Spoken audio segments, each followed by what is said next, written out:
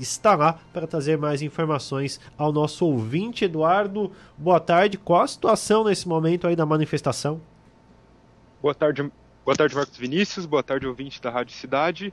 Então, nesse momento, a maioria se encontra nas barracas, ninguém ainda foi para frente do quartel.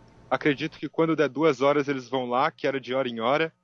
Mas a maioria está se escondendo do sol nas barracas. A gente vê aquela média de quase 100 pessoas, que é o normal fora desse horário de pico. Na última vez que eu estive aqui na semana passada, tinha essa média durante a tarde, mas seguimos seguimos aguardando, né? Segundo eles, eles ainda esperam uma resposta. Alguns nem sabem dizer qual é essa resposta, mas eles continuam aguardando. Sim, é, a maior parte que a gente vê da questão da, da, da, das urnas, da, da, da, eleição que teria sido fraudada, a questão também de intervenção é, militar. Mas chegou a conversar com alguém até quando pretendem ficar aí ou só quando tiver alguma resposta de alguém que não sabemos quem? Então, eles aguardam uma resposta ainda, né? Eles esperam uma resposta do presidente, principalmente, não, não, não do exército. Nada.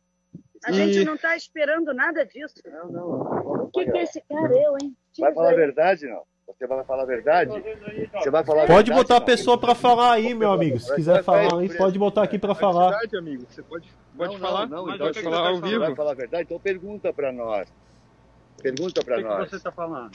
Amigo, eu tô falando que já me falaram aqui nessas manifestações. Não, ninguém falou nada. Ninguém falou nada, ninguém falou nada pra ti, tu não perguntou nada que tu nós nunca vocês, aqui, cara. Vocês da imprensa são um lixo, cara. Você devia aprender. O que, você tá vem, aqui pra mim, vem aqui pra mim. Parece que o pessoal não tá sendo nem um pouco pacífico lá com o Edu Foraça. Qual é a Vê se ele vai conseguir restabelecer o sinal com a gente. Tenta falar com ele em off aí. Até pra botar uma dessas pessoas pra poder falar conosco. Tira, pode, pode tirar. Vê se consegue falar com ele